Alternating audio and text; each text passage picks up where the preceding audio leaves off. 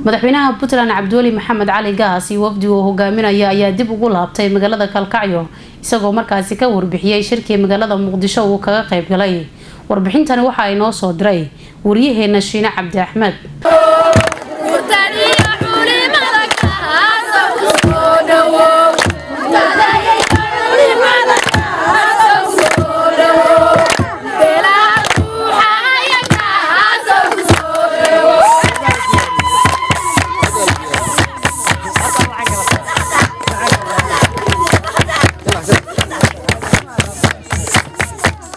madaxweynaha dowladda puntland rofeor cabdiweli maxamed cali gaas ayaa dib ugu soo noqday magaalada gaalkacyo isaga iyo wafdigu hogaaminayey waxayna ka qayb galeen shirki looga hadlayay arrimaha doorashooyinka dalka soomaaliya iyo magaalada muqdisho ka dhacay.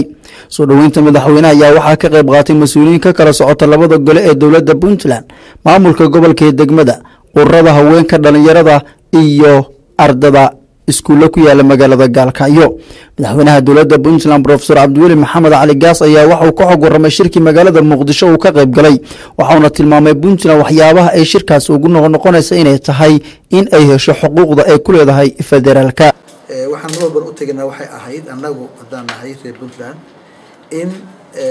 nidaam dawliya oo wanaagsan oo soomaaliya u wanaagsanna in la helo. Laakiin dhowra xuquuqda iyo xaqa ay leedahay puntlandna ay ka hesho iyadu oo ay ka dhex aragto ina meeshan ka soo baxa. Soomaaliya baanu raadinaynaa weligeed puntland somalia bay raadinaysay. Soomaalina bay u taagnayd ayadaa horseedka ee hormuudka ahayd in soomaaliya mar walba la isu keeno. Tiina weli sidai ayay diyaar ugu tahay puntland laakiin marakan iyada ahi laba kun iyo lix iyo toban dhanka kaleda waxay diyaar ugu tahay puntland xaqeeda iyo xuquuqda xuquuqaadka ay leedahay in ay hesho ayay diyaar u tahay dhanka kale madaxweynaha puntland ayaa waxa uu sheegay in la doonayo dowladda imika jirdha dowlad ka taya badan in la helo oo maqaamka soomaaliya ay gaarsiisa ay leedahay. Waxauna sheegay taas inay tahay in juhdi badan lagu bixiyo. Laakiin waxaa loo baahan yahay taasi in la helo siyaasadii iyo aragti fog ee soomaalnima lagu gaari laha in la helo weeye. Waan rajeynaynaa taas inay timaado aad iyo aad baad u mahadsantihiin mar labaad iyo mar saddexaad ayaan ka mahadnaqayaa soo dhoweynta